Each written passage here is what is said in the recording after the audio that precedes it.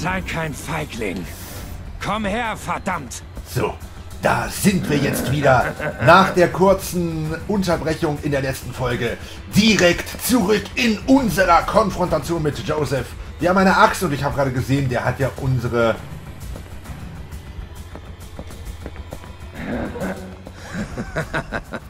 Der hat unsere Du Pistole kannst dich kaputt nicht gemacht. verstecken.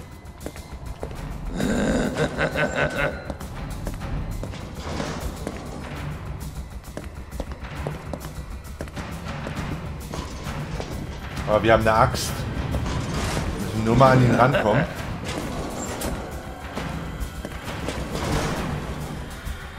Und... Haut's! Fick dich, Kidman!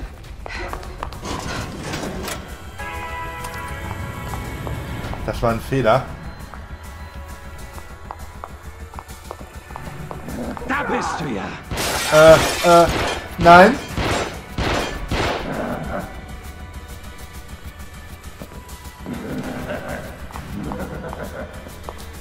Hier ist eine Axt, hier ist eine Axt. Weit kannst du nicht sein. Okay, wie viele Äxte brauchen wir denn wohl für ihn?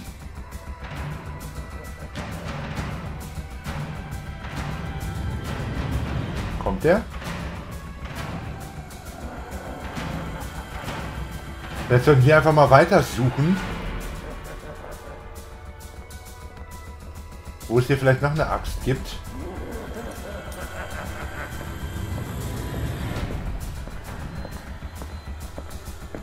Sei kein Feigling. Komm her, verdammt!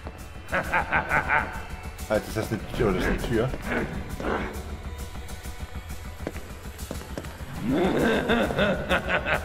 Okay, er ist da hinten. Wir müssen jetzt wieder von hinten an ihn ran.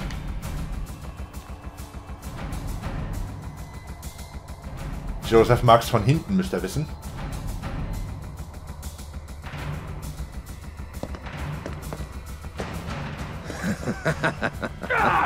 Du kannst dich nicht verstecken. Weit kannst du nicht sein.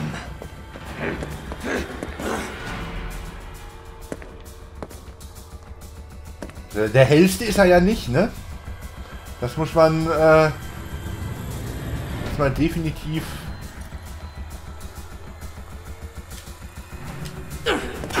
sagen. Scheiße!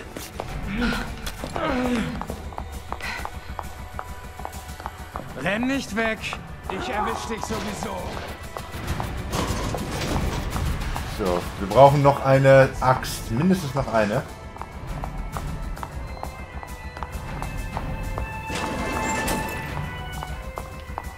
Die Frage ist jetzt, woher?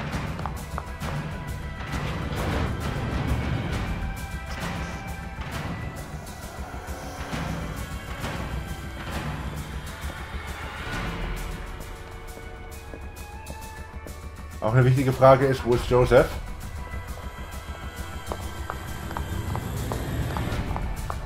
Ich meine, man kann ihm ja ganz gut ausweichen, ne? So ist es nicht. So ist es ja nicht. Da ist noch eine Axt. Oh. Da ist ein Joseph.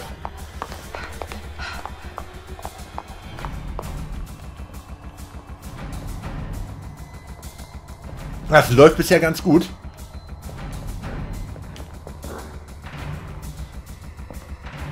Gucken, wie oft wir ihn erwischen müssen. Ist das vielleicht so ein Mario-Boss? Also so dreimal und fertig?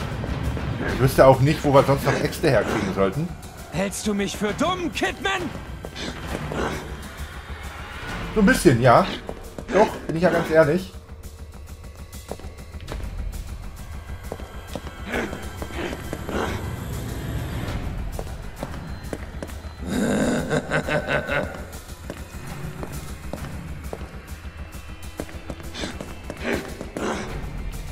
Kannst du mal stehen bleiben, bitte. Und tschüss, Mann. Hoffe ich.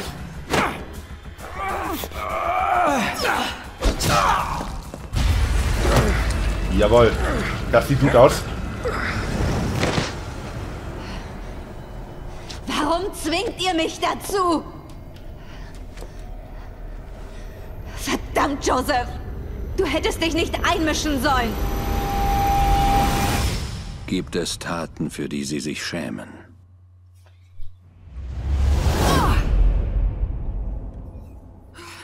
Wann jetzt schon wieder? Wo sind wir jetzt gelandet? Ob wir auch noch gegen Wächter kämpfen müssen oder äh, mit Wächtern zu tun haben später? Diese ähm, Kofferköpfe da aus dem Hauptspiel. Und was ist eigentlich aus der Lampenlady geworden? Hat sie sich verpisst, seitdem wir ihr ins Auge geschossen haben? Und das ist ein langer DLC, ne? Guck mal, wir sind jetzt in Folge 11. Da ist, äh... Ich hätte nicht gedacht, dass der Moment DLC mal. so umfangreich ist. Das Haus. Nein, das kann nicht sein. Finde ich echt gut. Und vor allem, das ist ja auch erst der erste Teil. Äh, es gibt ja noch eine zweite Hälfte dann dieser Geschichte hier. Und dann gibt es ja noch den dritten DLC, der hat aber dann mit äh, Kidman nichts zu tun. Hallo! Na? Freue mich, dass Sie hier sind.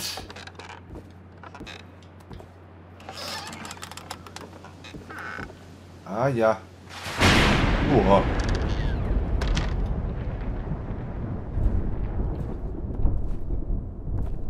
Wir gehen hier hinten nochmal gucken. Bevor wir das Haus verlassen. Denn jemand hat uns eine Botschaft hinterlassen.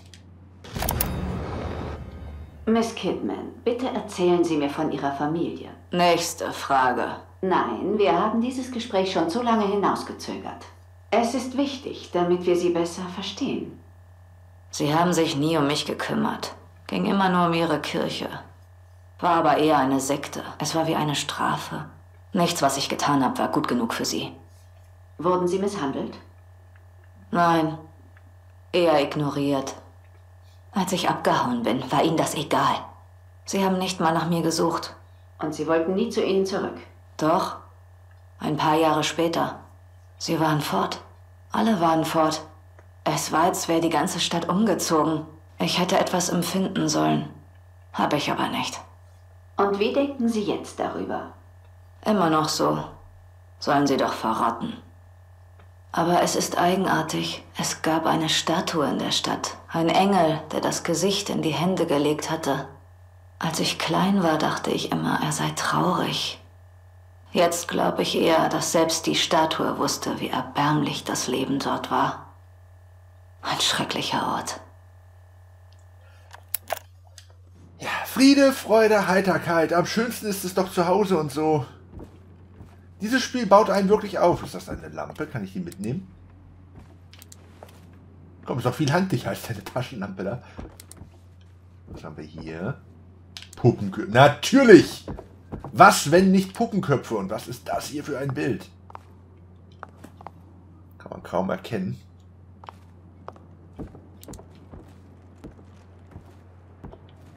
Es ist wirklich ein umfangreicher DLC. Jede Menge Inhalt, finde ich gut. Das ist nicht selbstverständlich bei DLC. Ja, ein weitflächiges Areal, Dunkelheit, Gewitter, Nebel. Ich denke, hier dürfen wir gleich wieder schleichen. Liegt hier noch eine Botschaft? Oder ist das einfach nur blutverschmiertes Papier, das jemand da abgelegt hat? Eine Statue mit einem Engel, der sich die Hände vor das Gesicht hält.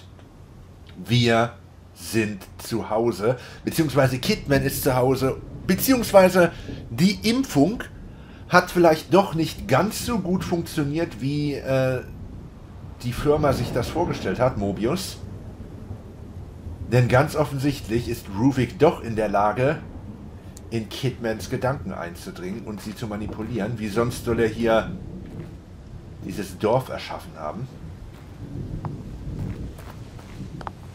Obwohl vielleicht ist dieses Dorf ja Kidmans Version der Nervenheilanstalt. Also ihr eigener kleiner Flecken hier innerhalb des STEM. Leslie, Leslie, halt!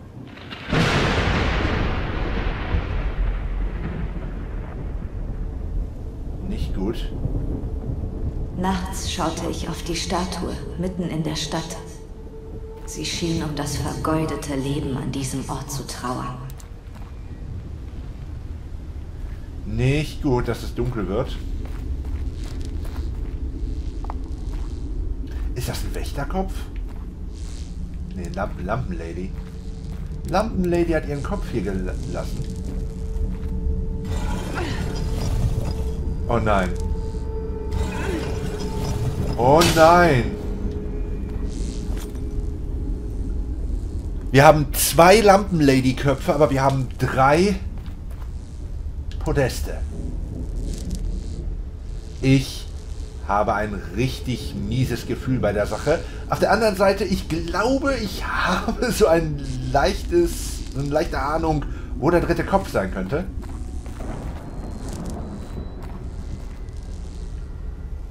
Statue ist weg. Das fällt mir jetzt erst auf.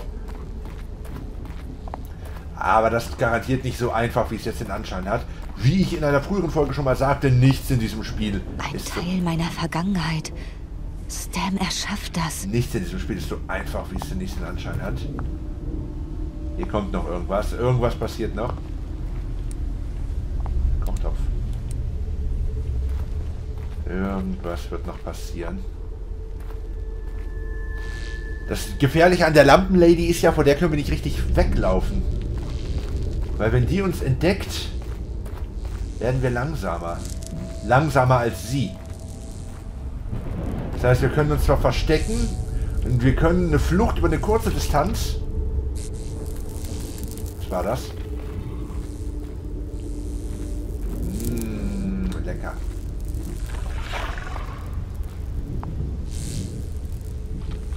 Erinnert ihr euch an diesen komischen Hund? Diesen, diesen riesigen Hund aus dem Hauptspiel? Da denke ich gerade dran. Scheinwerfer. Die Form dieses Scheinwerfers kommt dir merkwürdig bekannt vor. Hm. Er ist voller Fettspritzer und riecht nach Blut. Das wohl kommt. Sieh zu, dass du dich hier verpisst. So schnell wie möglich.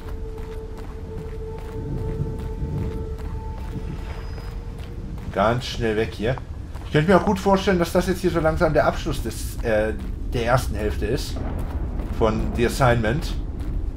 Das hat alles so ein bisschen so äh, Endareal-Feeling hier. Es werde Licht.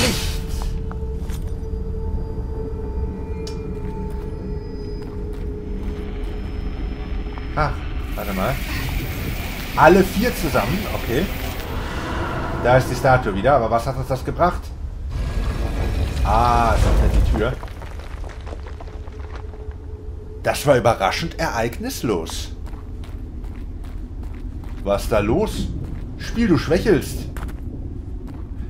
Aber was interessant ist, immer wenn wir uns hier dieser Tür genähert haben, wenn wir quasi in den Lichtschein von dem einen Scheinwerfer gegangen sind, habt ihr diesen, diesen Bildschirmeffekt hier am Bildschirmrand gesehen? Das ist genau der gleiche Effekt, den die Lampenlady hatte, wenn sie uns im Visier hatte.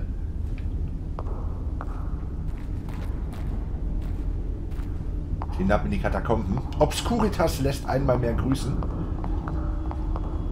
Obwohl das ein gemeiner Vergleich ist, weil Obscuritas wesentlich später rauskam als The Assignment. The Assignment ist ja schon einige Zeit draußen. Ich müsste jetzt lügen, also ich müsste nachgucken, wann das äh, veröffentlicht worden ist. Seit wann gibt es Evil Within?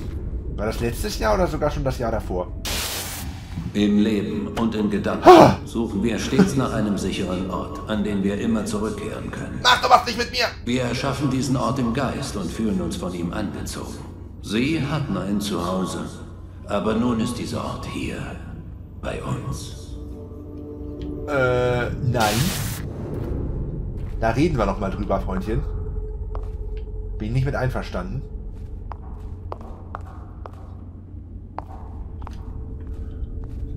allmählich. Also. Gerade wollte ich noch sagen, so allmählich könnte ich auch mal wieder einen Speicherpunkt gebrauchen, weil mir jetzt gerade so ein bisschen die Zeit davon läuft. Ich muss äh, Pause machen hier.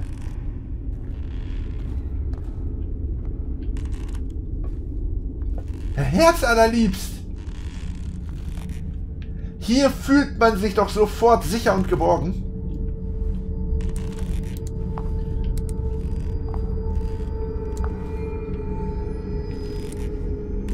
Wunderschönes Bild.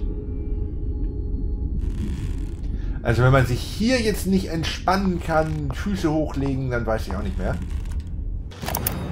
Ruben hat keine Ahnung, was er getan hat. Aber es ist ihm auch egal. Typisch.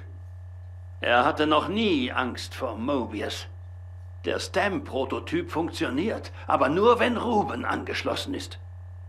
Er hat das System so angepasst, dass es nur mit seinem Hirnwellenmuster funktioniert. Ich habe ihn zu lange mit dem Ding allein gelassen ihm blind vertraut. Trotz meines Wissens kann ich das System jetzt nicht mehr in Ordnung bringen. Ich kann nicht einfach einen Knopf drücken. Aber das ist noch nicht das Schlimmste. Die wissen das auch. Aber dafür halte ich nicht den Kopf hin.